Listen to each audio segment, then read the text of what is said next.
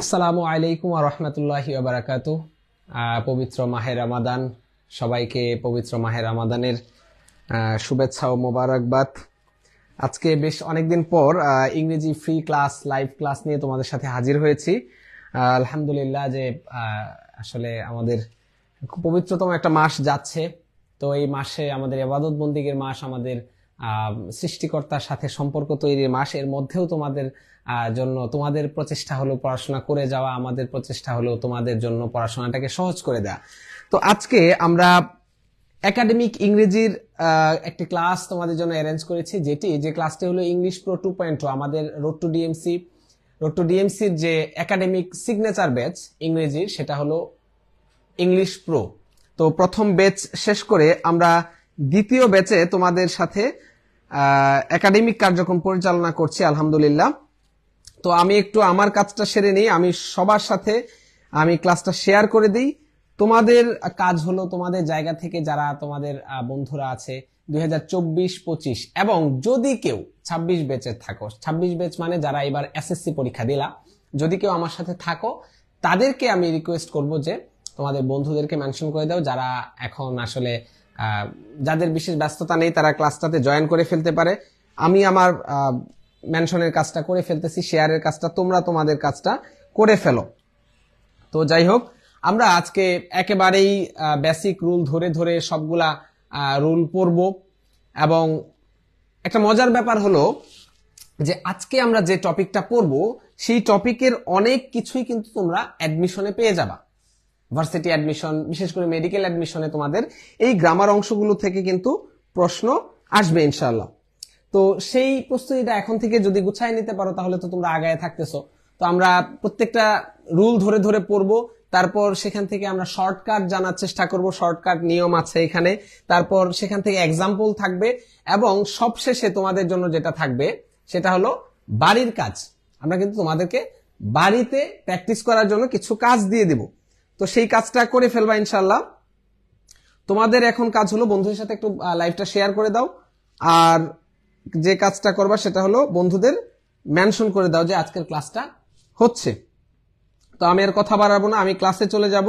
আর আমাকে একটু রেসপন্স করো যে তোমরা ক্লাস দেখতে পারতেছো কিনা ঠিক মতো বা শোনা যাচ্ছে কিনা বা কোনো অসুবিধা থাকলে অবশ্যই আমাকে জানাবে। আমরা ক্লাসে চলে যাব এখনই। তো আজকের টপিকটা হলো কমপ্লিটিং সেন্টেন্স কমপ্লিটিং সেন্টেন্সের প্রথম যে নিয়মটা দিয়ে আমরা ক্লাসটা শুরু করতে যাচ্ছি, সেটা হলো কন্ডিশনাল বোর্ড পরীক্ষায় কন্ডিশনাল থেকে প্রত্যেক বছর প্রত্যেক বোর্ডে প্রশ্ন আসে। আমি একেবারে চোখ বন্ধ করে বলে দিচ্ছি যে বোর্ড পরীক্ষায় কন্ডিশনাল থেকে প্রতি বছর ওয়ালাইকুম আসসালাম, আমাদের সাথে অনেকেই যুক্ত আছো। সৌমিক, নাহিদ, বন্যা শাউন আছো। ওকে। আমরা ক্লাসটা শুরু করি। তোমাদের কাজ হলো তোমাদের বন্ধুদেরকে মেনশন করে জানিয়ে দেওয়া যে আজকে ক্লাসটা হচ্ছে। তো ক্লাসটা তাদের জন্য আশা করি, আমি চেষ্টা করেছি সর্বোচ্চ প্র্যাকটিস এবং রুল সবকিছু সমন্বয়ে। তো তোমাদেরকে যতটুকু হেল্প করা যায়, উপকার করা যায় ফ্রি ক্লাসের মোটিভটা যেন আমরা রক্ষা করতে পারি। যাই হোক, আমরা প্রথম যে নিয়মটা পড়ব সেটা হলো conditional conditional sentence conditional sentence হলো শর্ত সাপেক্ষ বাক্য। শর্ত সাপেক্ষ বাক্য। শর্তমূলক বাক্য বা শর্ত সাপেক্ষ বাক্যকে আমরা বলি কন্ডিশনাল সেন্টেন্স শর্ত সাপেক্ষ বাক্যকে আমরা বলি কন্ডিশনাল সেন্টেন্স কন্ডিশনাল সেন্টেন্স শর্ত সাপেক্ষ বাক্য। শর্ত সাপেক্ষ বাক্য। ওকে শর্ত সাপেক্ষ মানে কি? যে যে সেন্টেন্স গুলাতে কোনো একটা শর্ত জুড়ে দেওয়া হয়, যখন শর্ত জুড়ে দেওয়া হয়, সেটার একটা ফলাফল কিন্তু আসে। ধরো আমি তোমাকে বলতেছি যে, এখন যদি কারেন্ট চলে যায় ক্লাস নেওয়া সম্ভব হবে না। তা আমি বলতেছি কি, আমি ক্লাস নিচ্ছি, তো এখন কারেন্ট যদি চলে যায় কারেন্ট কিন্তু চলে যায় নাই। আমি শর্ত দিচ্ছি কি, যদি কারেন্ট চলে যায়, তাহলে এটার ফলাফল কি হবে? ক্লাস বন্ধ হয়ে যাবে। বুঝতে পারছ?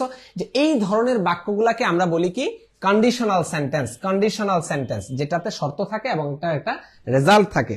আমাকে তোমরা বইলো যে বোঝা যাচ্ছে কিনা, যদি অসুবিধা থাকে তাহলে আমাকে জানাই তো এই ধরনের সেন্টেন্সগুলা কি দিয়ে শুরু হয়? এই ধরনের সেন্টেন্সগুলা ইফ এবং আনলেস দিয়ে শুরু হয়।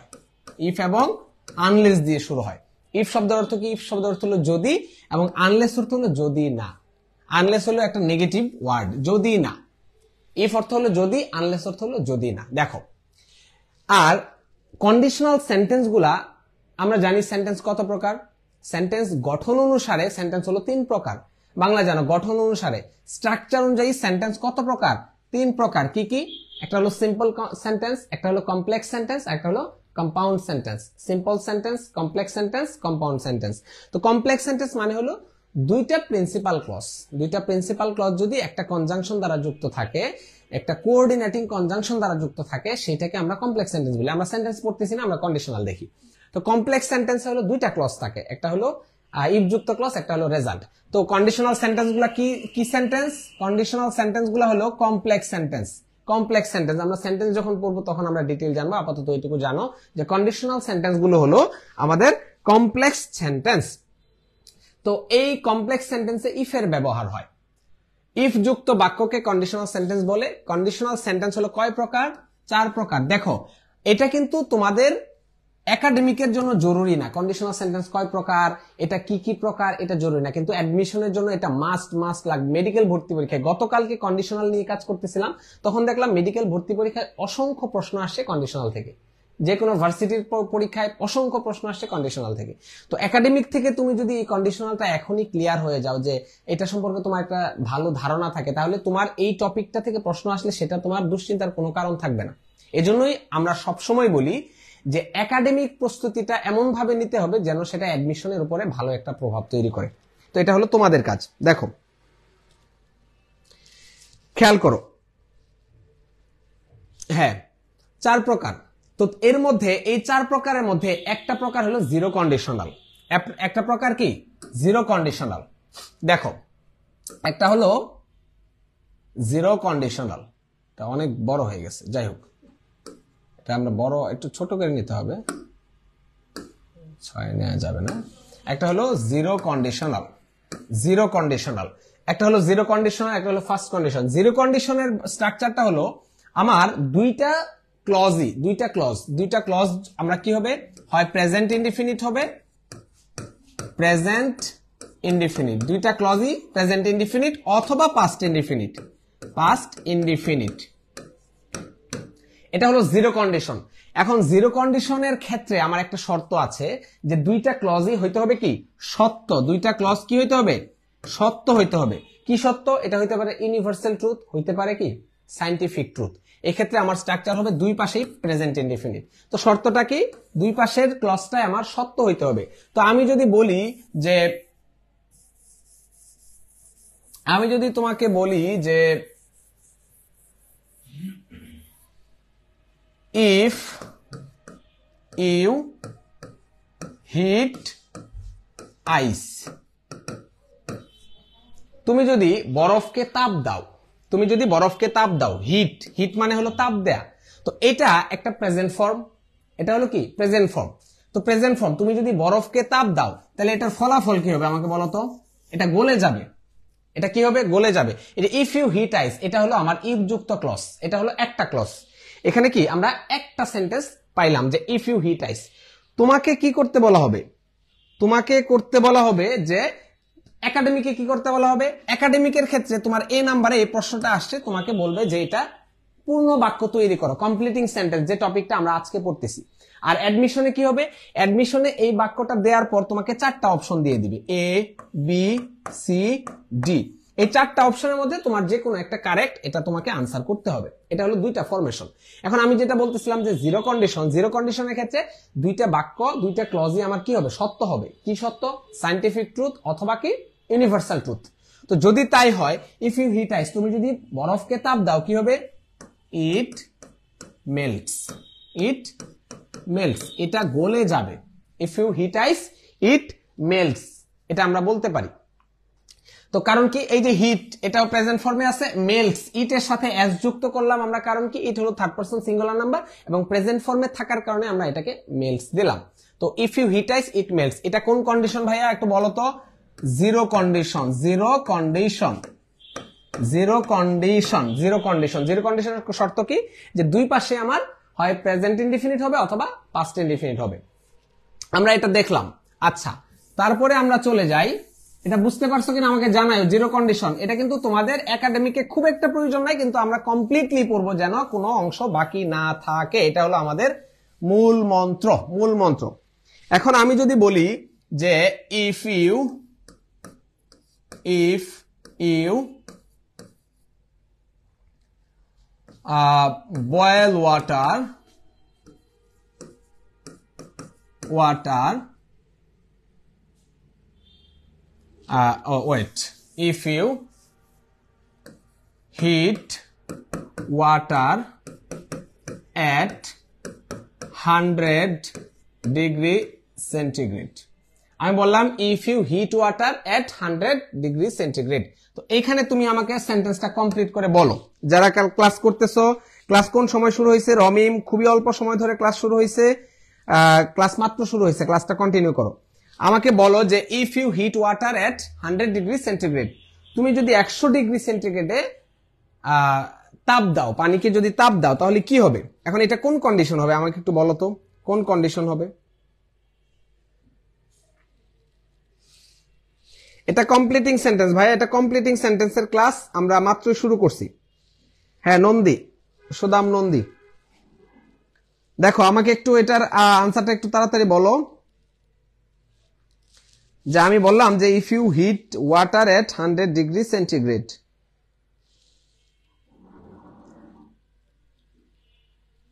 আমাকে একটু বলো যে এটা কমপ্লিটিং সেন্টেন্স কি হবে?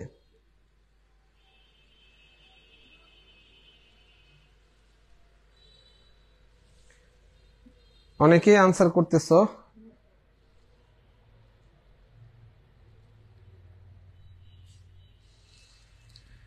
ওকে না বুঝলে আমাকে বইলো। আমি যেটা তোমাকে ক্লিয়ারলি বলতে চাই ইট ভ্যাপর ইট ভ্যাপর আচ্ছা ওকে শাওন বলছো ইট ভ্যাপর আমি যেটা বলতে চাচ্ছি যে ইফ ইউ হিট এটা আমার প্রেজেন্ট ফর্মে আছে। প্রেজেন্ট ইনডেফিনিট ফর্মে তো আমি বলতে পারি ইট বয়েলস আমরা বলতে পারি ইট ভি এ ভ্যাপর্স কারণ কি? Third person singular number it ইটের সাথে আমার অবশ্যই কি হবে? অবশ্যই আমার ভার্বের সাথে অ্যাস যুক্ত হবে। It will vapour. আচ্ছা সুদাম নন্দী বলছে ইট উইল ভ্যাপর। আমরা এটাও নিতে পারি।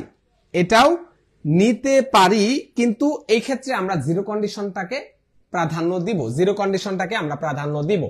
মনে রাখো, জিরো কন্ডিশনের শর্ত কি? জিরো কন্ডিশনের শর্ত হলো ইফ এবং আনলেস যুক্ত একটা ক্লস থাকবে এবং দুই পাশের ক্লস হবে সত্য, চিরন্তন সত্য অথবা বৈজ্ঞানিক সত্য।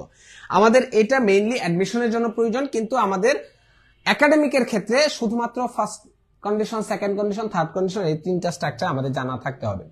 তো দেখো, এই তিনটা কন্ডিশন একটা হলো ফার্স্ট কন্ডিশন একটা হলো সেকেন্ড কন্ডিশন একটা হলো থার্ড কন্ডিশন একটা হলো সেকেন্ড কন্ডিশন একটা হলো third condition third condition third condition first condition second condition এবং থার্ড কন্ডিশন তো দেখো ফার্স্ট কন্ডিশন ফার্স্ট কন্ডিশনের স্ট্রাকচার কি হবে? একটা হবে প্রেজেন্ট ইনডিফিনিট অপরটা হবে ফিউচার ইনডিফিনিট কি হবে? একটা সেন্টেন্স হবে আমার প্রেজেন্ট ইনডিফিনিট অপর সেন্টেন্সটা হবে ফিউচার ইনডিফিনিট হ্যাঁ বন্যা বলছো it turns into vapour right it turns turns কেন দিলাম? কারণ দুই পাশে আমার প্রেজেন্ট ইনডিফিনিট দিলে সেটা হবে correct answer it will boil okay Mujahidul Islam বলছে ইট উইল বয়েল এখানে আমরা ফার্স্ট কন্ডিশন যদি থার্টি দিব, কারণ আমার চিরন্তন সত্য এবং বৈজ্ঞানিক সত্য হওয়ার ক্ষেত্রে শর্তটা হলো যে সেটা জিরো কন্ডিশনে চলে যাবে। তো দেখো, আমরা ফার্স্ট কন্ডিশনের ক্ষেত্রে স্ট্রাকচার কি দেখলাম? প্রেজেন্ট ইনডিফিনিট সাথে হবে আচ্ছা আসছে আসছে ওকে ওকে হুম? ওকে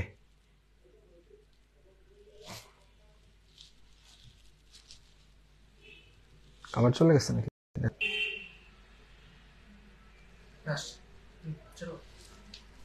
ওকে।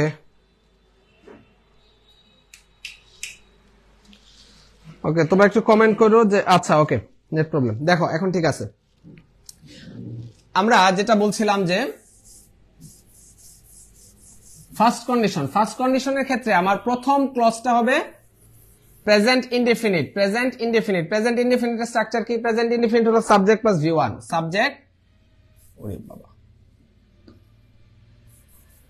subject plus V one subject plus V one subject plus V one এটা হলো প্রেজেন্ট ইনডিফিনিট স্ট্রাকচার অপর পাশে স্ট্রাকচার হবে subject plus shall will may shall will may plus V one shall will may plus V one মানে কি? এই shall will কিসের structure এটা হলো ফিউচার ইনডিফিনিটের স্ট্রাকচার ফিউচার ইনডিফিনিটের স্ট্রাকচার ফিউচার ইনডিফিনিটের স্ট্রাকচার এর সাথে ফিউচার ইনডিফিনিট স্ট্রাকচার মানে কি? ফিউচার ফিউচার ইনডিফিনিটের স্ট্রাকচার মানে হলো আমার শেল উইল মে এগুলো হলো আমার মডাল অক্সিলারি ভার্ব কি ভার্ব মডাল অক্সিলারি ভার্ব ধরো মেডিকেল অ্যাডমিশন টেস্টে গত বছর মানে এই বছরের আগের বছর একটা প্রশ্ন আসছে যে কোনটি, নিচের কোনটি which one is use as modal and main verb কোন অক্সিলারি ভার্বটা একই সাথে মডাল এবং একই সাথে মেইন ভার্ব হিসেবে ব্যবহৃত হয়? তো এখানে দুইটা জিনিস, দুইটা অক্সিলারি ভার্ব অনেক আছে। Shall will can may might তারপরে কি আছে? নিড ডেয়ার অসংখ্য ভার্ব আছে কি? Auxiliary verb modal auxiliary verb এগুলার পরে সবসময় ভার্বের সাথে কি বসে? ভার্ব ওয়ান ভার্বের সাথে প্রেজেন্ট ফর্ম বসে বেস ফর্ম তো গত বছর দুই হাজার বাইশ তেইশ যে মেডিকেল অ্যাডমিশনটা সেখানে প্রশ্নটা আসে, আমি আনসারটা বলে দিই, আমরা বিস্তারিত যাব না। নিড এবং নিড এবং ডেয়ার নিড এবং ডেয়ার এই দুইটাকে আমরা মডেল অক্সিলি ভার্ব বলি। তোমরা কি আমার কথা শুনতে পারতেছো?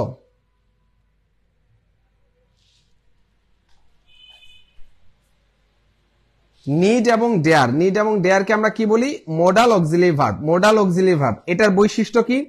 এটার বৈশিষ্ট্য হলো নিড এবং ডেয়ার একই সাথে মোডাল ভার্ব হিসেবে বসতে পারে, আবার একই সাথে মেইন ভার্ব হিসেবে বসতে পারে। তো যখন নিড এবং ডেয়ার এর পরে টু বসবে, তখন সেটাকে আমরা মোডাল অক্সিলি ভার্ব বলব। যেমন you need not to go there তোমার সেখানে যাওয়ার প্রয়োজন নেই। এখানে নিডটা হলো মেইন ভার্ব না। এই নিডটা কি ভার্ব অক্সিলি ভার্ব কিন্তু আমি যখন বলব I need your help I need your help আমার তোমার সাহায্য প্রয়োজন। সেক্ষেত্রে নিডটা হলো আমার কি ভাব? মেইন ভাব। তো এই জিনিসটা মাথায় রেখো। যাই হোক, আমরা যেটা বলতেছিলাম যে আমাদের এই মডাল অক্সিলি ভার্বের পরে কি বসে? মডাল অক্সিলি ভার্বের পরে ভি ওয়ান বসে। মডাল অক্সিলি ভার্বের পরে কি বসে? ভি ওয়ান এটা আমাদের জানা থাকতে হবে। ওকে মুজাহিদুল ইসলাম বন্যাম অনেকেই ক্লাস করতেছো। ভেরি গুড আচ্ছা আমরা যেটা বলতেছিলাম যে প্রেজেন্ট ইনডিফিনিট মানে কি? ফার্স্ট কন্ডিশনের ক্ষেত্রে প্রেজেন্ট ইনডিফিনিট এবং ফিউচার ইনডিফিনিট এটা স্ট্রাকচারটা আমরা দেখলাম। স্ট্রাকচারটা কি দেখলাম? যে প্রেজেন্ট ইনডিফিনিট এবং অপর পাশে হবে ফিউচার ইনডিফিনিট দেখো the condition of Mithu's father was not well আচ্ছা যাই হোক। এই দেখো, দুই নাম্বারে যেটা হলো রাজশাহী বোর্ডের দুই হাজার উনিশ সালের প্রশ্নটা আমরা দেখি। যে প্রশ্নটা আছে যে if a man sows good cis if a man sows good seeds যদি একজন মানুষ ভালো বীজ বপন করে, এটা আমাকে একটু আনসার করলে বলো তো, দুই নাম্বারটা। দুই নাম্বার আনসারটা আমাকে একটু বলো, দুই নাম্বার আনসারটা আমাকে একটু বলো, দুই নাম্বার। দুই নাম্বার দুই নাম্বার আনসারটা আমাকে একটু বলো, দুই নাম্বার। কমপ্লিট করো। রাজশাহী বোর্ড দুই হাজার উনিশ সালে আসছে, রাজশাহী বোর্ড দুই সালে আসছে। এটা একটু কমপ্লিট করে, আমাকে একটু বলো যে if a man sows good seeds যদি একজন মানুষ ভালো বীজ বপন করে মানে কি এটা আসলে স্টুডেন্টদের ক্ষেত্রে? ধরো তোমরা এখন পড়াশোনা করতেছো ক্লাস করতেছো, কষ্ট করে, অনেকেই কিন্তু এখন ঘুমাচ্ছে বা একটু লেজার টাইম পাস করতেছে। তো এই সময়টাতে তুমি যতটুকু বেনিফিটেড হবা বা তুমি যে এই যে সময়টা কাজে লাগাচ্ছ, তোমার রেজাল্ট আর যে বন্ধুটা আসলে বেখেয়ালে সময় নষ্ট করতে তার রেজাল্ট কিন্তু সেম আসবে না। আচ্ছা সেন্টেন্স কমপ্লিট করার জন্য কি জাস্ট কন্ডিশন ইউজ করে করতে হবে? He will get good crops okay হ্যাঁ আমার এই ক্ষেত্রে যে সেন্টেন্সটা কন্ডিশন থেকে আসবে, সেটা অবশ্যই কন্ডিশন থেকেই আনসার করতে হবে। স্ট্রাকচার ফলো করতেই হবে। যদি তোমার এক পাশে প্রেজেন্ট ইনডিফিনিট থাকে, তাহলে অপর পাশে অবশ্যই আমার ফিউচার ইনডিফিনিট ব্যবহার করতে হবে। এটা হলো first condition will get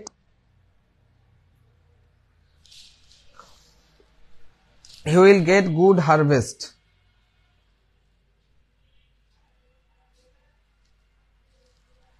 He will may have a good harvest. He will may have a. আচ্ছা he will Mujahidul Islam he will may have he will এরপর আমার মে ব্যবহার করার প্রয়োজন নাই। এখানে একটা রিডান্ডেন্সি হয়। আমার এখানে he will may have a good harvest এটা দেওয়ার কোনো প্রয়োজন নাই। He will have a good harvest সে একটা ভালো ফলাফল পাবে। Okay, net problem. ঝামেলা করতেছে।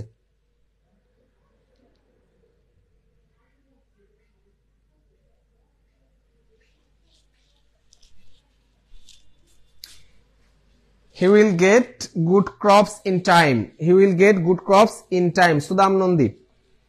Very good he will get good crops in time হ্যাঁ ঠিক আছে। এটা রাইট আনসার এখন দেখো নেটের প্রবলেম হচ্ছে।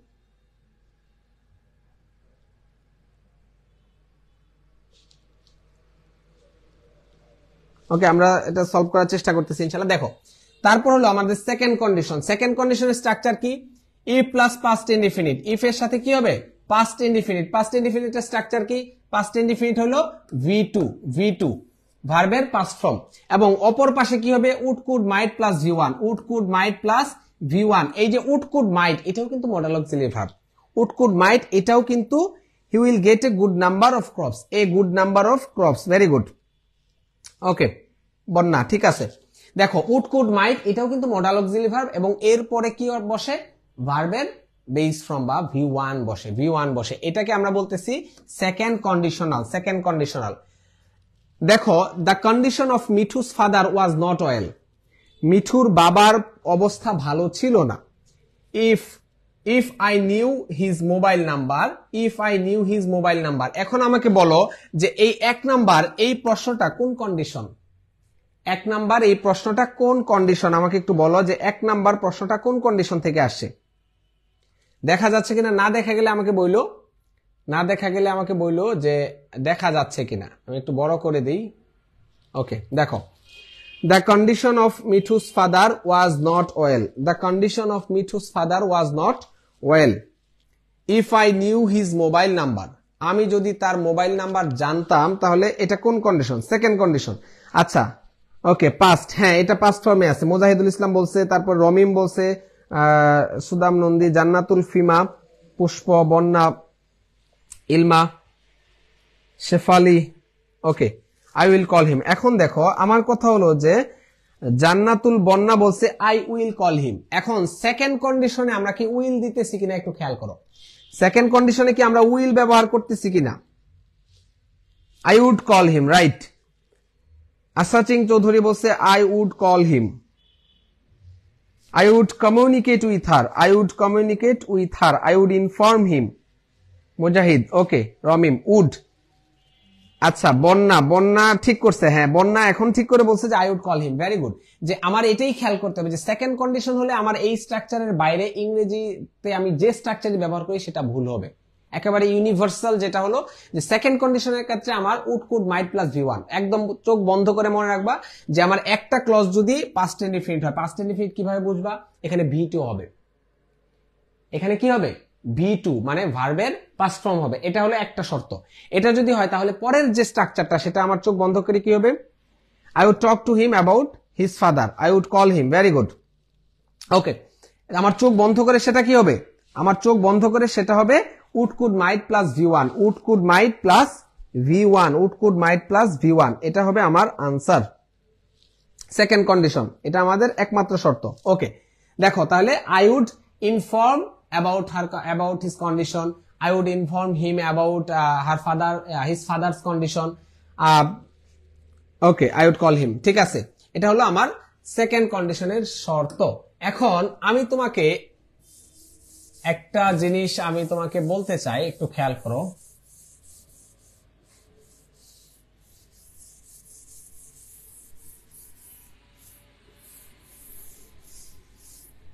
দেখো ওকে দেখো আমি যদি বলি যে if if I was called by him if I was called by him if I was called by him এটা কোন কন্ডিশন মুজাহিদুল ইসলাম ক্লাস মামি সিং থেকে নেটওয়ার্কের সমস্যা এই কারণেই। মামি সিং এর অবস্থা খুব খারাপ, খুবই জঘন্য। দেখো if if he if he এটা কোন condition if I was called by him second condition এটা একটু ফিল আপ করো, এটা একটু কমপ্লিট করে আমাকে একটু বলো। কমপ্লিট করে একটু বলো যে if I second condition okay second condition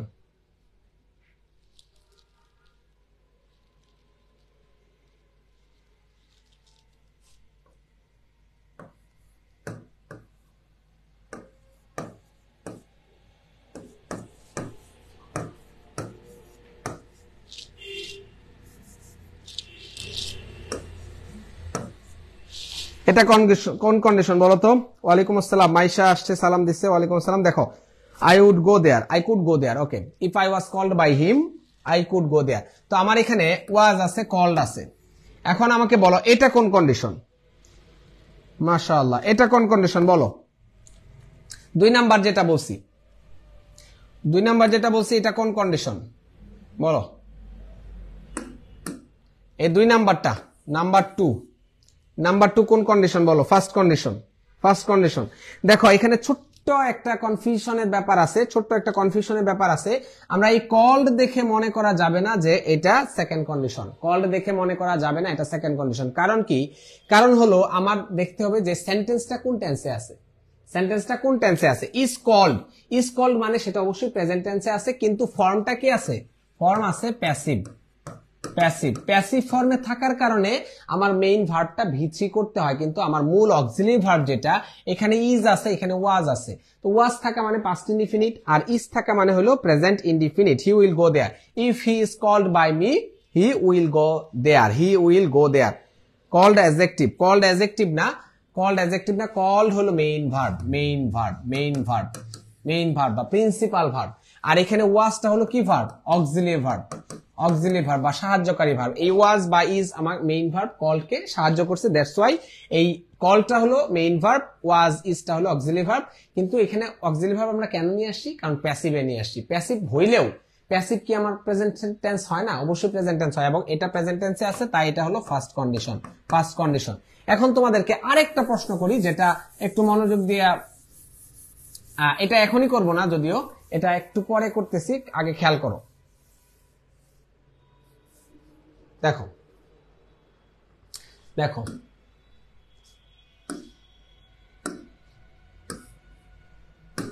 আমাদের তৃতীয় যে থার্ড যে কন্ডিশন সেটা হলো ইফ প্লাস পাস্ট পারফেক্ট আচ্ছা পাস্ট পারফেক্ট টেন্সের স্ট্রাকচার কি বলতো? পাস্ট পারফেক্ট টেন্সের স্ট্রাকচার পাস্ট পারফেক্ট টেন্সের স্ট্রাকচার হলো had plus V three had plus V three মানে তোমাদের টেন্সের বিষয়ে নতুন করে পড়ানোর কিছু নাই, কিন্তু তারপরে তোমাদের একটু রিমাইন্ড করে দিচ্ছি, একটু স্মরণ করাই দিতেছি।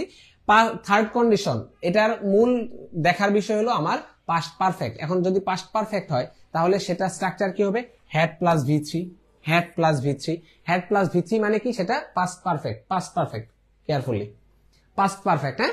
পাস্ট পারফেক্ট পাস্ট পারফেক্টের স্ট্রাকচার হলো হ্যাড প্লাস ভি থ্রি এই ক্ষেত্রে আমার কি হবে? Would could might plus have plus V three আমার পরবর্তী অংশে কি থাকবে? Would could might. এই যে would could might plus have plus V three আমাদের স্ট্রাকচারটা কি হবে? আমরা দেখি। স্ট্রাকচারটা হবে would could might plus have plus V three would could might plus have plus V would could might plus have plus V three would could might plus have plus V three third condition third condition. Third কন্ডিশনের structure হলো past perfect তারপরে কি হবে? Would could might would could might might plus have plus V three এটা হলো আমাদের third কন্ডিশনের structure এখনও যদি আমি তোমাকে একটা এক্সাম্পল দেই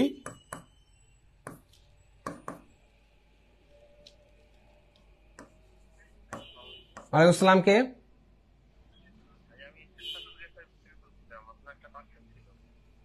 আমি একটু ক্লাসে হ্যাঁ আমি আপনাকে কল দিচ্ছি পরে।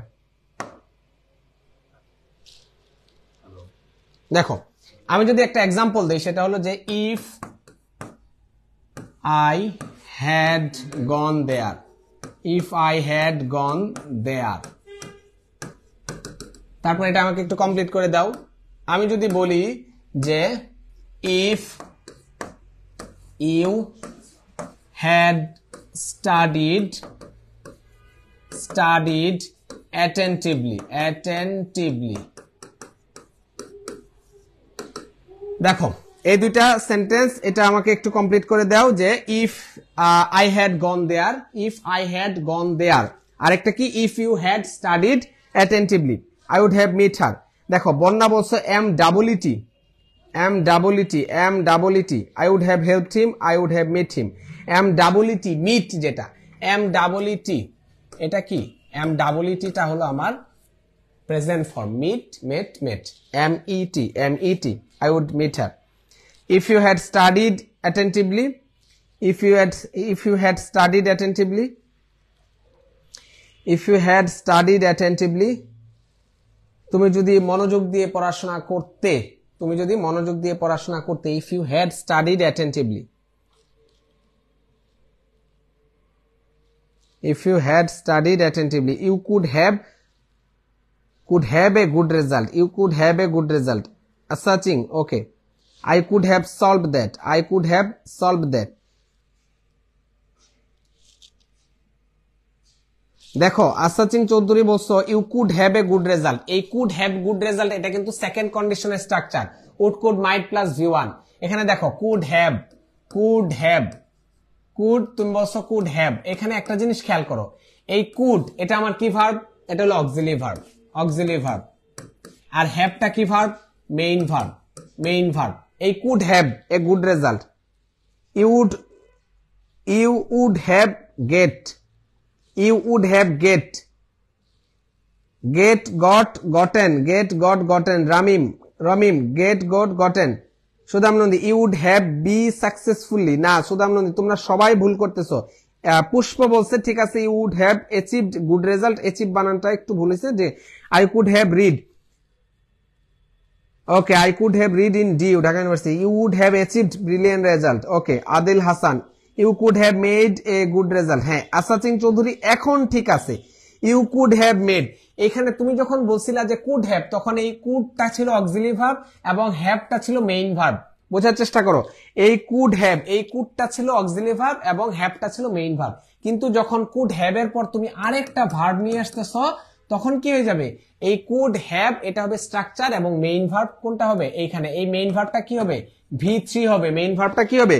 V three you would have got good marks you would have gotten you would have got হবে না get got gotten get got gotten gotten get got gotten gotten you would get you Kamrun Nahar Ilma বলতেছো you would get না you would have gotten you would have gotten আমরা স্ট্রাকচারে কি বলছি যদি একটা পাস্ট পারফেক্ট থাকে তাহলে আরেকটা কি হবে উড কুড মাইট এটা থাকতেই হবে তোমার স্ট্রাকচারে would could might plus have এটা তোমাকে স্ট্রাকচারে রাখতেই হবে। কোন ক্ষেত্রে রাখবা? থার্ড কন্ডিশন থার্ড কন্ডিশন কীভাবে চিনবা? এই পাস্ট পারফেক্ট থাকবে। থার্ড কন্ডিশন কীভাবে চিনবা? পাস্ট পারফেক্ট থাকবে। তোমার এক পাশে থাকবে past perfect would have gotten হবে। ইয়েস তনুশ্রী বলছে would have gotten Sudam Nandi, ঠিক আছে। Shefali Biswa could have made a good result ঠিক আছে। এখন তোমরা একটু বোঝার চেষ্টা করো। জাস্ট একদম সিম্পল টু আন্ডারস্ট্যান্ড কি? যে আমার যদি এক পাশে পাস্ট পারফেক্ট থাকে পাস্ট পারফেক্টের স্ট্রাকচার কি? এই যে had plus gone had plus gone had plus V আমি একেবারে ব্যাখ্যা করে বলে দিই had plus V past perfect থাকলে একটা পাশে কি থাকলা? পাস্ট পারফেক্ট আরেক পাশে কি হবে? Would could might plus have plus V three would could might plus have plus V three would could might এটা থাকতেই হবে হ্যাভ থাকতেই হবে। আর স্বাভাবিকভাবেই হ্যাভ যখন থাকবে, এটা যখন পারফেক্টের অক্সিলি ভার্ব তখন অবশ্যই তার সাথে আমার ভিত্তি বসাইতে হবে। বুঝতে পারছ? কারও কোনো কনফিউশন আছে? You would have gotten good marks হ্যাঁ বন্যা, ঠিক আছে। চেঞ্জিং সেন্টেন্সের আর ক্লাস নিলে ভালো হতো। চেঞ্জিং সেন্টেন্স চেঞ্জিং সেন্টেন্স নাকি কমপ্লিটিং সেন্টেন্স পুষ্প। আচ্ছা would have study with Moinul ভাই ইন ডিউ আচ্ছা আচ্ছা আমার সাথে পড়বা। মানে আমার সাথে কেমনে পড়বা? আমি তো মোটামুটি এখন শেষের দিকে। তোমরা যদি জানি না কত বেশ, চব্বিশ, পঁচিশ আস্তে আস্তে আমি মানে ভার্সিটি থেকে সালাম, টাটা, বাই বাই বলে বের হয়ে যাব, কিন্তু ক্যাম্পাসের পরিচয় থাকবে ট্যাগ থাকবে। যাই হোক ইনশাল্লাহ তো এটা তোমাদের জন্য শুভকামনা। দোয়া রইল।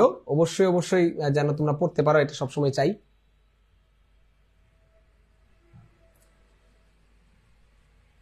Wait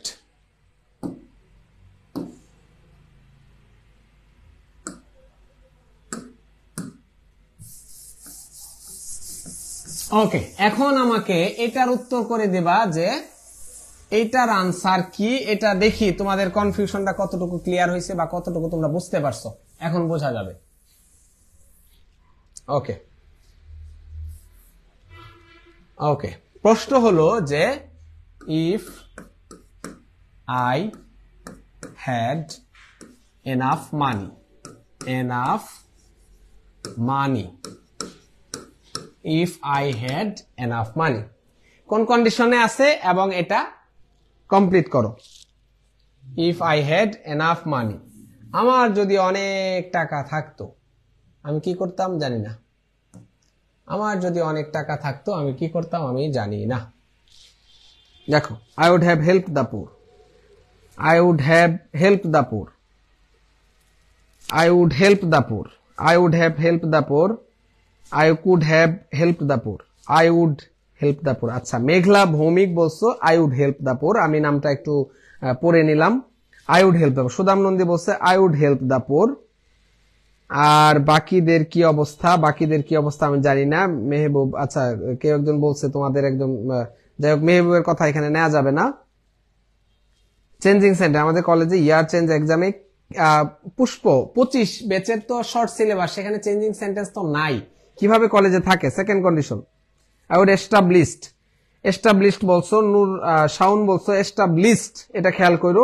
I would have made mosque Adil Hasan I could have help the poor এখন just I could travel to abroad Asaching Chowdhury, আমি সিম্পলি একটা জিনিস তোমাদেরকে বলি। আমি তোমাদেরকে কয়টা কন্ডিশন পড়াইছি? চারটা কন্ডিশন চারটা কন্ডিশন স্ট্রাকচার জাস্ট মনে রাখবা। খাতায় নোট করো এবং এগুলো অবশ্যই নোট করা থাকতে হবে। কোনটা বলতেছি, কোনটা মনে রাখতে হবে, এটা অবশ্যই মাথায় রাখতে হবে। দেখো if I had enough money এখানে তোমরা এই হ্যাডটা দেখার পর তোমরা সবাই এটা ভাবতেছো কি? এটা থার্ড কন্ডিশন প্রথমেই বলে রাখি হ্যাডটা দেখে থার্ড কন্ডিশন হ্যাডটা দেখে কি ভাবতেছ? থার্ড কন্ডিশন কিন্তু আমি থার্ড কন্ডিশন যখন বলছি, তখন স্ট্রাকচার কি বলছি? Had plus V three had plus V three had plus V three এখানে এই সেন্টেন্সে ধরো, আমি বললাম যে I had gone there I had gone there দেখো সেন্টেন্সটা একটু মনোযোগ এটা এটাই সবচাইতে মানে ক্রিটিক্যাল ব্যাপার। এটা যদি ধরতে পারো, তাহলে কমপ্লিটিং সেন্টেন্সের এবং একাডেমিক অ্যাডমিশনে এই টপিক নিয়ে কোনো ঝামেলা থাকবে না। এই কন্ডিশনাল নিয়ে। দেখো if I had gone there এখানে দেখো হ্যাড শব্দটা আছে। হ্যাড এবং গন শব্দটা আছে। এখানে হ্যাড প্লাস ভিচি এই জায়গায় হেড আমার কি? এখানে হেড হলো অক্সিলিয়ারি ভার্ব সাহায্যকারী ভার্ব এখানে গনটা হলো মেইন ভার্ব মেইন ভার্ব ভার্বটা আগে চেনাই তোমাদের, যে এখানে হ্যাডটা হলো অক্সিলিয়ারি ভার্ব গনটা হলো মেইন ভার্ব তো এই স্ট্রাকচার অনুযায়ী এটা হলো কি আমার? পাস পারফেক্ট কি পারফেক্ট ধরো পিপি পাস পারফেক্ট আমি বললাম পাস পারফেক্ট কিন্তু দেখো, এই সেন্টেন্সে if I had enough money এখানে হেড এর পর কি অন্য কোনো ভার্ব আছে? এই সেন্টেন্সে ভার্ব কোনটা বলতো কয়টা ভার্ব আছে এবং কোনটা ভার্ব কয়টা ভার্ব আছে? I could help the poor আচ্ছা যাই হোক পাস্ট টেন্সে আছে। I could have Shefali Biswas এখনও বলতেছো could have help the poor আমি তোমাদেরকে একটু সিম্পলি বোঝাই ফেলি। এই সেন্টেন্সে কয়টা ভার্ব আছে এবং কোন ভার্ব আছে বলতো কয়টা ভার্ব আছে এই সেন্টেন্সে আমাকে একটু বলো, এই সেন্টেন্সে কয়টা ভার্ব আছে? Just let me know just let me know যে আমাকে বলো এই সেন্টেন্সে হেড অক্সিলি ভার্ব বন্যা বলছো হেড অক্সিলি ভার্ব একটা হেড জান্নাতুল ফিমা জান্নাতুল ফিমা বলছে একটা হেড এখানে ভার্ব আছে আমার একটাই। একটা ভার্ব আছে এবং এটাকে আমরা বলব প্রিন্সিপাল ভার্ব বা মেইন ভার্ব প্রিন্সিপাল ভার্ব বা মেইন ভার্ব প্রিন্সিপাল ভার্ব বা মেইন ভার্ব যে সেন্টেন্সে কোন সেন্টেন্সে যদি একটা মাত্র ভার্ব থাকে অনলি ওয়ান ভার্ব যদি একটা মাত্র ভার্ব থাকে, সেই ভার্বটাকে আমরা কি বলি? মেইন ভার্ব অথবা প্রিন্সিপাল ভার্ব এখন দেখো, এই সেন্টেন্সে আর কোনো ভার্ব নাই। একটা মাত্র ভার্ব আছে হ্যাড তো একটা মাত্র ভার্ব যদি হ্যাড থাকে, সেখানে হ্যাড অক্সিলি ভার্ব হওয়ার কোনো সম্ভাবনা নাই।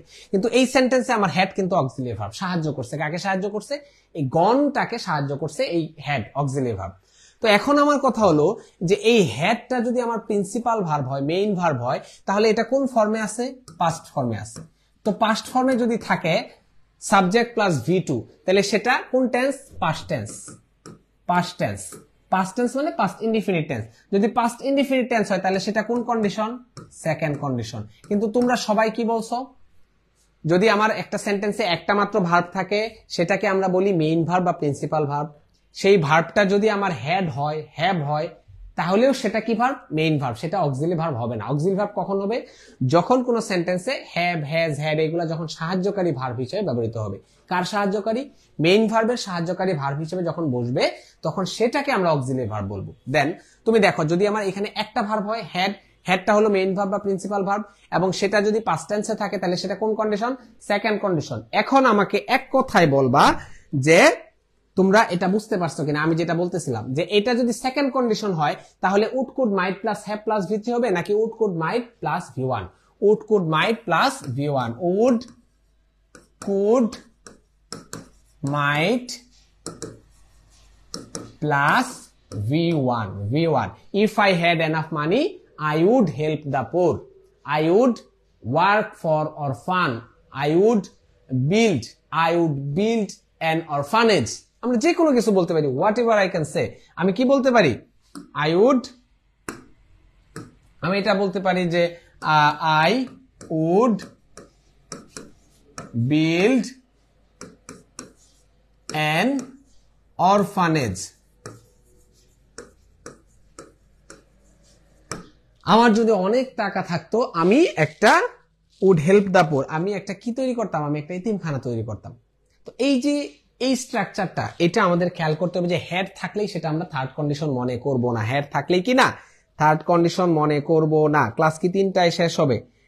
তিনটায় শেষ হবে কিনা যায় না। শুধু কন্ডিশনালের তিনটা নিয়ম পড়াইতে যাই তোমাদের। যাই হোক, অনেক সময় লেগে গেছে। হোয়াট এভার আমরা দেখি যে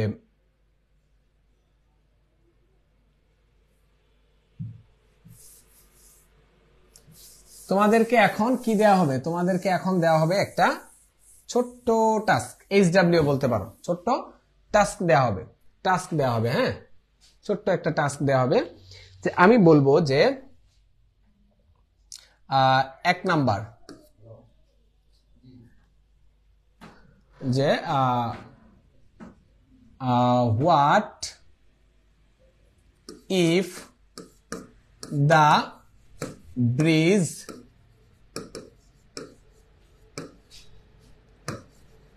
had been broken. Had been had been broken. এটা তোমাদের এইচ ডাব্লিউ একটা। তারপরে দুই নাম্বার দুই নাম্বার আরেকটা দিয়ে দিই। দুই। If he attended the meeting.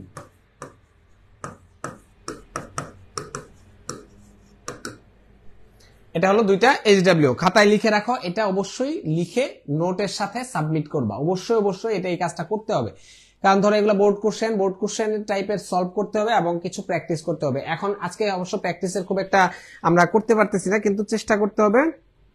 Chemistry three সিক্সটির ক্লাস হবে হ্যাঁ। থ্রি সিক্সটির ক্লাস হবে, আমরা তিনটার আগে শেষ করে দেবো, ইনশাল্লাহ। ডোন্ট ওরি তিনটার আগে ইনশাল্লাহ শেষ করে দেব। ওকে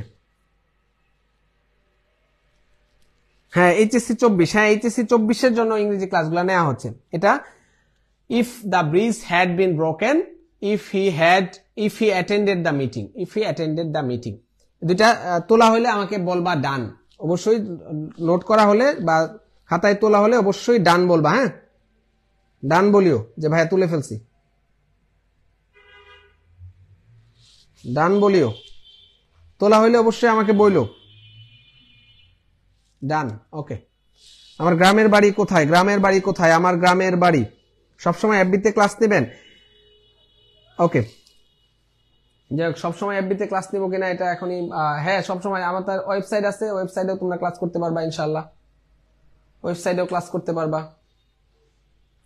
তোমাদের ক্লাসের রুটিন হ্যাঁ এই জিনিসটা তোমাদের সাথে একটু শেয়ার করে ফেলি যে, তোমাদের যে ইংলিশ প্রো টু পয়েন্ট আমরা যেটা নিয়ে কাজ করতেছি, যেটা নিয়ে কাজ করতেছি, তোমাদের ঢাকা ইউনিভার্সিটির যে আমি আছি, আজকে তোমাদের ক্লাস নিচ্ছি। তোমাদের অয়ন ভাই আছে ঢাকা ইউনিভার্সিটির, তোমাদের মেহবুব ভাই ঢাকা ইউনিভার্সিটির। আমাদের, তোমাদেরকে নিয়ে সাজানো যে কোর্সটা সেটা হলো English pro two point O English pro one point ওর একটা চমৎকার অসাধারণ সাফল্যের পর আমরা English pro two point O তোমাদের জন্য নিয়ে আসছি, যেখানে almost forty plus live class হবে। তারপরে প্রথম পত্র ক্লাস থাকবে, দ্বিতীয় পত্র স্ট্যান্ডার্ড ক্লাস থাকবে। আর সবচেয়ে বড় কথা, সবচাইতে গুরুত্বপূর্ণ যে জিনিসটা পাবা, প্রত্যেকটা ক্লাসে তোমরা অ্যাডমিশন স্ট্যান্ডার্ড ক্লাসগুলো পাবা।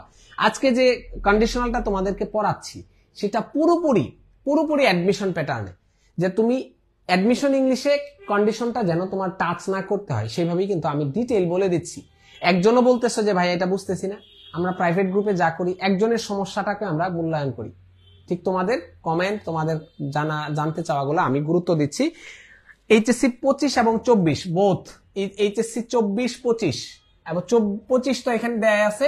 এর, এছাড়াও পঁচিশের চব্বিশের জন্য চব্বিশের জন্য আমরা স্পেশাল যে ফিচারটা রাখছি সেটা হলো বোর্ড কোশ্চেন সলভ এবং মডেল টেস্ট সলভ বিশেষ করে পঁচিশের জন্য এই কোর্সটা কবে পর্যন্ত চলবে?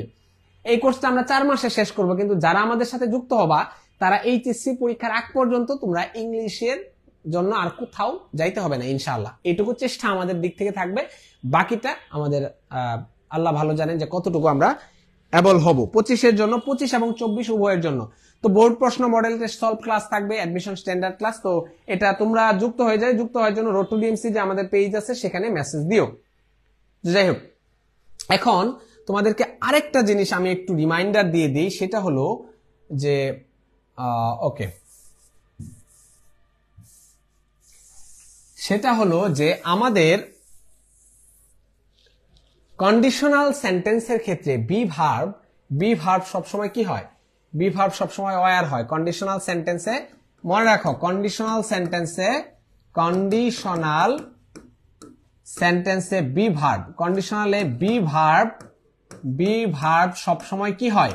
অয়ার হয়। বি ভার্ব সবসময় অয়ার হয়। সবসময় বি ভার্ব সবসময় অয়ার হয়। এখন কোন সময়? ধরো, আয়ের সাথে কি কখনো অয়ার হয়? হি এর সাথে কি অয়ার হয়? হ্যাঁ। কন্ডিশনাল সেন্টেন্সে আমার সব সময় বি ভার্ব কি হয়? বি ভার্ব সকল ক্ষেত্রে অয়ার হয় অয়ার হয়। এটাকে আমরা বলি unreal past unreal past unreal past unreal past unreal past be verb সবসময় কি হয়? অয়ার হয়, সবসময় মনে রাখবা যে আমি যদি বলি যে if I were a DMCian if I were a DMCian তো আমি এটা যে বলতেছি, আমি যে এই যে কথাটা বলতেছি, এই যে আয়ের সাথে আমি কেন ওয়ার ব্যবহার করলাম? আয়ের সাথে কি ওয়ার হওয়ার কথা ছিল? আয়ের সাথে তো আমার ওয়াজ হওয়ার কথা। আয়ের সাথে কি হওয়ার কথা? ওয়াজ হওয়ার কথা, কিন্তু আমি এখানে ওয়ার কেন দিলাম? এই ওয়ারটা দিলাম কারণ হলো কন্ডিশনাল সেন্টেন্সে বি ভার্ব সবসময় কি হয়? ওয়ার হয় বি ভার্ব সবসময় ওয়ার হয়। If I were a DMCian এখন তোমরা বলো তো যে তোমাদের মতো করে এই সেন্টেন্সটা কমপ্লিট করে ফেলো যে, এখন ধরো কেন এটা আনরিয়েল পাস্ট বা আনরিয়েল কন্ডিশন আনরিয়েল পাস্ট এই জন্য হ্যাঁ আনরিয়েল পাস্ট বা আনরিয়েল কন্ডিশন এখন, আমি ধরো ঢাকা ইউনিভার্সিটি থেকে পড়াশোনা করলাম। এখন আমার পক্ষে কি ডিএমসিয়ান হওয়া সম্ভব? মানে আমাকে ধরো আমি পরীক্ষা দিলে ধরো চান্স পাবো। তো পরীক্ষা দিতে হলে আমাকে মানে সেকেন্ড টাইমার বলে না, আমাকে দশম টাইমার হইতে হবে। কারণ দশ বছর আগে আমার এইচএসসি পরীক্ষা। দশ বছর হয় নাই অলমোস্ট প্রায় সাত আট বছর হয়ে গেছে। তো মানে অষ্টমবারের মতো যদি আমাকে পরীক্ষা দেওয়ার সুযোগ দেওয়া হয়, তাইলে আমার পক্ষে এটা আদৌ সম্ভব না। এটা আদৌ সম্ভব না। ইফ ধরো আমি আমরা অনেক সময় বলি যে if I were a bird I were a bird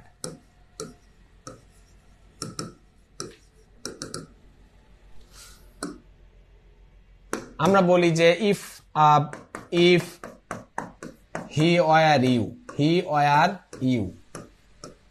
এখন ধরো, সে কি তুমি হওয়া সম্ভব? মানে কি সে কি তুমি হইতে পারবে?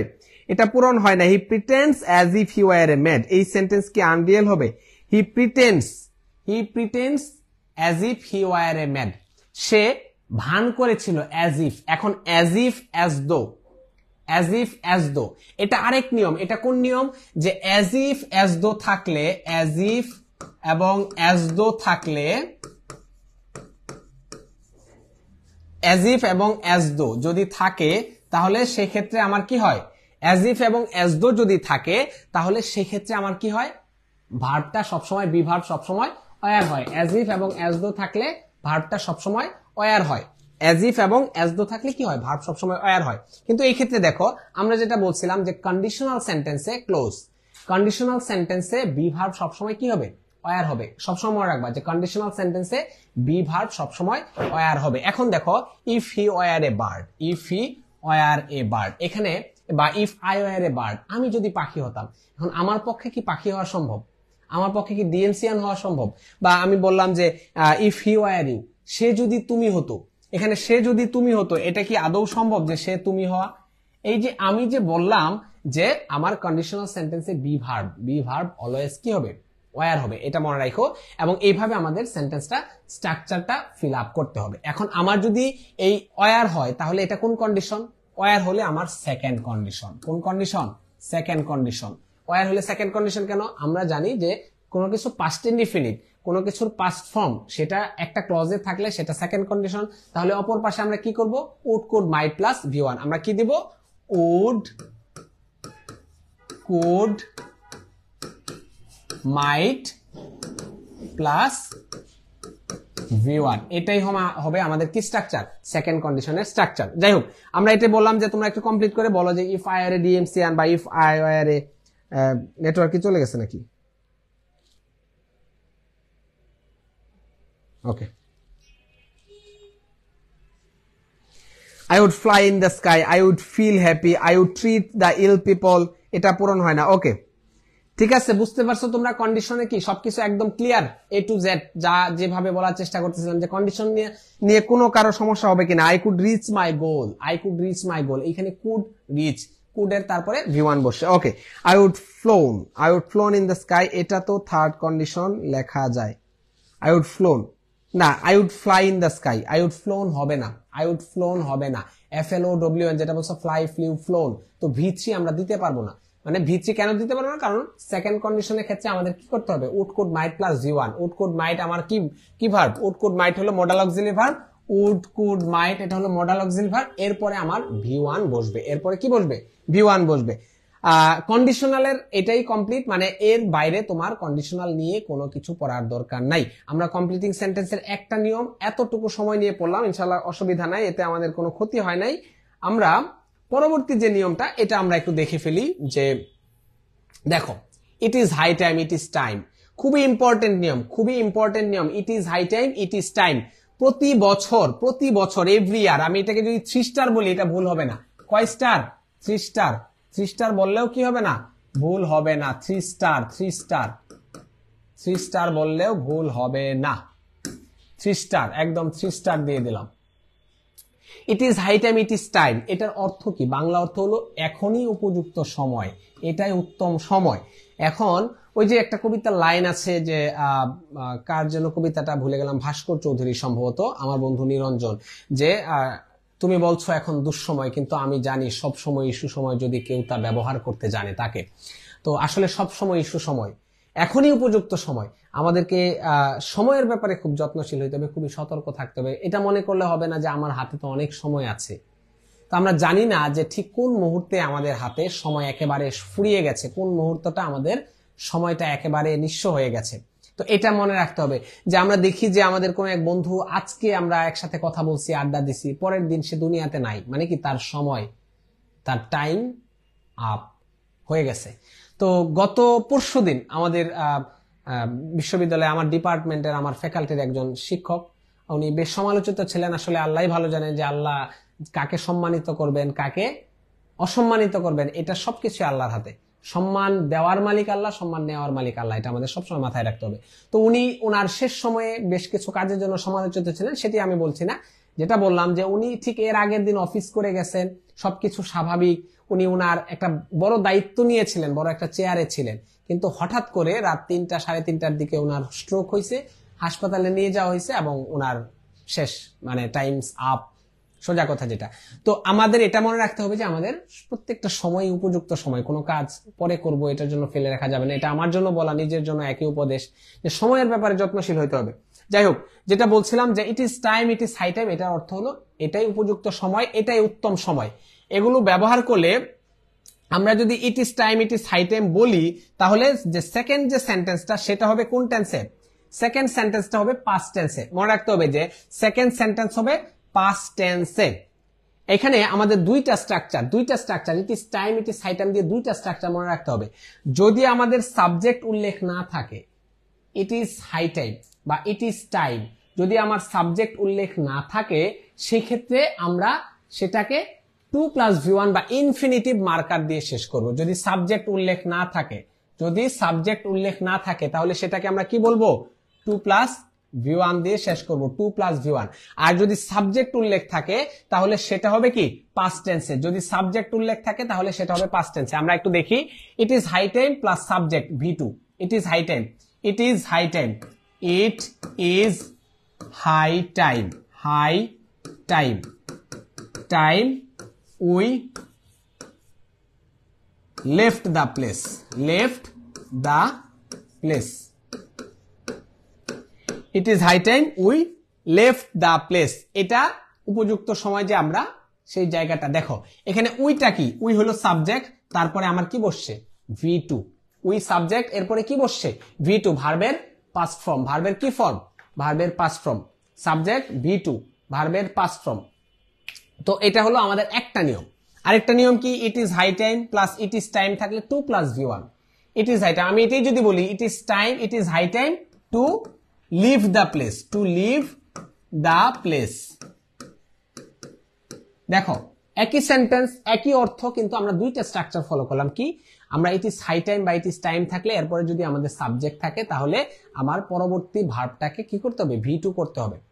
ভি টু করতে হবে। আর যদি আমার পরবর্তীতে সাবজেক্ট না বসাই, তাহলে সেটাকে to plus V one infinitive করে বসাইতে হবে। কেমিস্ট্রি ক্লাস আছে ভাইয়া, ওকে, আমরা we change our bed habits হ্যাঁ উই চেঞ্জ আওয়ার আমরা এখনই শেষ করে দেবো to change our bed habit আমরা এক ঘণ্টার মধ্যে ইনশাল্লাহ শেষ করব, তিনটা দুই বাজে আমরা তিনটা দশের মধ্যে ইনশাল্লাহ শেষ করে দেবো। তারপর দেখো, এই দুইটা হলো তোমাদের বাড়ির কাজ। এখনই নোট করে রাখো, এখনই তুলে রাখো। খাতায় তুলে রাখো, এটা করে আমাকে অবশ্যই জমা দিবা। ক্লাসের রিভিউ ক্লাসের নোট অবশ্যই অবশ্যই আমাদের road to DMC road to DMC dream to be a doctor এই গ্রুপে অবশ্যই সাবমিট করবা, এটা তোমাদের ম্যান্ডাটরি বাধ্যতামূলক কাজ। এইটা লিখে রাখো she said it is high time she said it is high time এটা ঢাকা রাজশাহী বোর্ডে আসা প্রশ্ন, দুই হাজার উনিশ সালে আসা প্রশ্ন। তারপরে patriotism is a noble virtue patriotism is a noble virtue it is it is high time it is high time দুইটাই তোলা হলে আমাকে বইল। He pretends as if he knew nothing sentence কি হবে? এই he pretends as if he knew nothing হ্যাঁ he pretends he pretends যে হি প্রিটেন্ডেড ওই স্টাডি ডেডিকেটেড দিয়ে এই দুইটা তোমাদের এইচ ডাব্লিউ মানে কি, খাতায় তুলে রাখো, এটা আমাকে জমা দিবা। এটা খাতায় তুলে রাখো, নোটটা তুলে রাখো, নোটটা তুলে রাখো। He pretends as if he knew nothing হ্যাঁ অ্যাজ ইফ এজ দো থাকলে ভার্ব সবসময় পাস্ট হয় বি ভার্ব সবসময় ওয়ার হয়। অ্যাজ ইফ এস দো থাকলে ভার্ব সবসময় পাস্ট হয় বি ভার্ব সবসময় আর হয়। এটাই নিয়ম। এই দুইটা অবশ্যই তোমরা নোট শেয়ার করবে। নোটটা শেয়ার করবে। আমি কিন্তু যারা ক্লাসে ছিল, তাদের নোটটা আমি দেখতে চাই। যারা ক্লাস করে নাই, তাদের কথা ভিন্ন। তাদের সাথে কোনো কথা নাই। তাদের ব্যাপারে কিছু বলছি না। এইটা তোমরা অবশ্যই অবশ্যই নোট সাবমিট করবা। নোট সাবমিট করবা। নোট সাবমিট ম্যান্ডাটরি যারা ক্লাসে ছিল, আমি কিন্তু নাম দেখব পরের ক্লাসে তারপর দেখো I wish I wish I wish I wish যদি থাকে, তাহলে সেক্ষেত্রে আমাদের বিভাব সবসময় অয়ার হয়। উইশ থাকলে যদি সাবজেক্ট হয়, আয়ুষের পরে যদি সাবজেক্ট হয়, তাহলে আমাদের ভার্ব টু বসে। আয়ুষের পরে যদি সাবজেক্ট হয়, তাহলে ভার্ব বসে।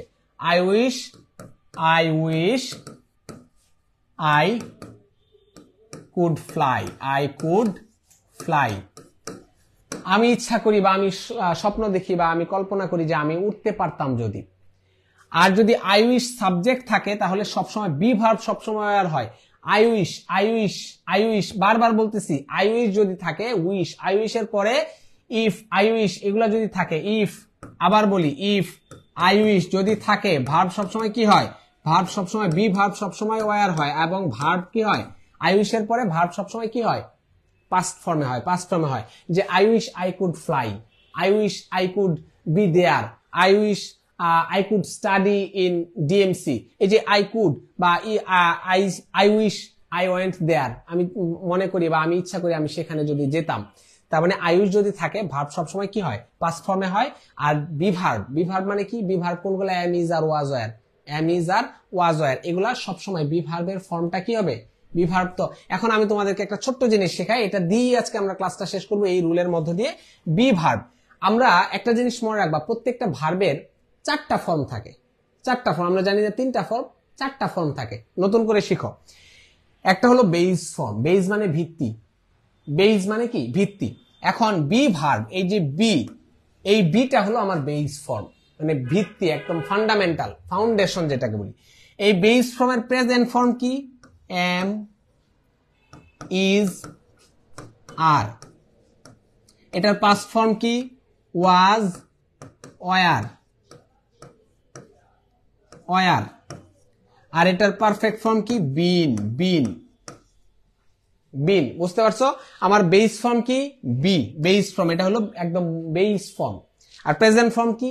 Am is are past form কি? ওয়াজ ওয়ার আর পারফেক্ট ফর্ম যেটা ভি থ্রি সেটা হলো বিন এটা মনে রাখো, এটা আমাদের কাজে লাগবে, বিভিন্ন সময় কাজে লাগবে। আমরা কোনো কোনো নিয়মে পড়ব যে এই ভার্বের পরে, এই ভার্বের পরে বেস ফর্ম বসে। বেস ফর্ম মানে কি? একেবারে র ফর্ম যেটা বি আর বেস ফর্ম কি?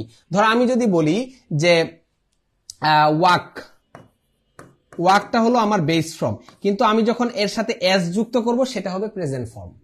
Walk present form, কিন্তু ওয়াকটা আমরা বেস ফর্ম হিসেবে কাউন্ট করব। ওয়াক যেমন বেস ফর্ম ঠিক ভিন্ন একটা ফর্ম হলো বি। বি এর প্রেজেন্ট ফর্ম হলো এম ইজ আর ওয়াজ আর যাই হোক, birds fly in the sky, birds fly in the sky, পাখিরা আকাশে ওড়ে, আই উইশ। আই উইশ ওই যে আই কুড ফ্লাই যাই হোক, এটা, এটাও তোমাদের জন্য এইচ ডাব্লিউ এটাও কি, তোমাদের জন্য এইচ ডাব্লিউ আমরা ক্লাসটা আর দীর্ঘায়িত করব না। ভাইয়া, যেগুলা পারি না, ওইগুলা কি করব? কোনগুলা পারো না, বলো তো রমিম, কোনগুলা পারো না? আমরা এই যে আজকে যে তিনটা নিয়ম পড়লাম, কি কি পড়লাম? কন্ডিশনাল কন্ডিশনালের নিয়ম পড়লাম। তারপরে ইট ইস টাইম ইট ইস হাইটাইমের নিয়ম পড়লাম। তারপরে আই উইশ আই উইশের নিয়ম পড়লাম। এই তিনটা বা এই নিয়মগুলা থেকে না পারার কোনো কারণ নাই। এগুলা পারবা? যেগুলা পারবা না প্র্যাকটিস করতে যাবা, যেগুলো এখন আমরা যদি এইভাবে ক্লাসগুলা করি, তোমাদের না পারার তো কোনো কারণ নাই। কেন পারবা না? অবশ্যই পারবা। না পারার কোনো কারণ নাই। ক্লাসগুলা করতে থাকো, যেগুলা পারো না, সেগুলা কীভাবে কি করবা, সেগুলা আমরা সমাধান দিব ইনশাল্লাহ তো প্র্যাকটিস করার সময় প্র্যাকটিস করার সময় যেগুলা পারো না, এগুলা কি করবা? যে আমাদের গ্রুপে বলবা, আর ইংলিশ প্রো টু পয়েন্ট ওতে এনরোল করে ফেলো। সেখানে আমাদের টেলিগ্রাম গ্রুপ আছে আমাদের প্রাইভেট গ্রুপ আছে। সেইখানে সমস্যাগুলো নিয়ে আলোচনা করব। এখন ধরো আমি একা তোমাদের ধরো দুইশো, তিনশো, চারশো, পাঁচশো জনের সবার সমস্যার সমাধান করা সম্ভব না। আমি ক্লাস নিব, আমি ক্লিয়ার করার চেষ্টা করব, তাতে কি হবে? আমার কষ্ট কমবে। তুমি যদি বুঝা ফেলো তাহলে আমার ঝামেলা কম। না বুঝলে বা না পারলে বরং আমার ঝামেলা বেশি। তখন কি করবা? তুমি টেলিগ্রামে আমাকে মেনশন করবা, আমাকে সেখানে সময় দিতে হবে। আমি দিব, কিন্তু আমি চাইব কি? যেন আমাকে সেই সময়টা দেওয়ার আগেই যেন তুমি বুঝে যাইতে পারো। এটা হবে আমার চেষ্টা ইনশাল্লাহ তো যাই হোক আর কথা দীর্ঘায়িত করব না, তোমাদের কেমিস্ট্রি ক্লাস আছে। তোমাদেরকে একটু রুটিনটার সাথে পরিচয় করাই দেই। এই যে আমাদের ইংলিশ প্রো হ্যাঁ রমিম, ওকে, পারবা ইনশাল্লাহ হ্যাঁ রমিম, তাহলে টেনশন করো কেন? ওই টেলিগ্রাম গ্রুপ থাকবে টেলিগ্রাম গ্রুপে তোমরা বলবা যে ভাই এটা বুঝতেছি না। আজকে তোমাদের কি ক্লাস হলো? কমপ্লিটিং সেন্টেন্স কে নিল? মইনুল ভাই। যাই হোক আগামীকালকে আমাদের কি হবে? আগামীকালকে ক্লাস আছে। আগামীকাল না, আঠাশ তারিখ। এই রুটিনটা তোমরা একটু ফলো করো যে, এই free class free week special use of phrase and words সেটাও আমার নেওয়া হবে।